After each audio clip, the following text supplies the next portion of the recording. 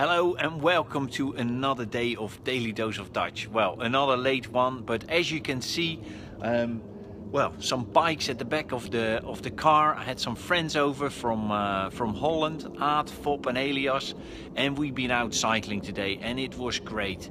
It was a delightful day, um, and in particular, it is just beautiful to see the scenery of Essex. And for people that are wondering, is Essex flat?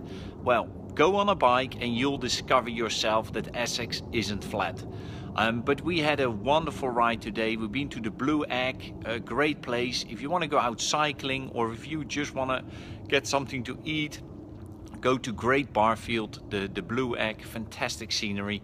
So, uh, so yeah, we've been cycling 75 miles today um, in beautiful weather, beautiful scenery. So, um, well, and as you know, a couple of weeks back, when you follow Daily Dose of Dutch, I did this uh, uh, fasting program, this sports fasting program. And uh, apart from the weight loss that I had, this uh, metal metabolism switch from burning sugar to burning fat is still going very well. So um, I could clearly notice today on the bike how well that has worked. So if you are considering that yourself, then check out the website, check back those daily dose of Dutch that I did during that uh, that time. Search for sport fasting and uh, and you'll find more about it.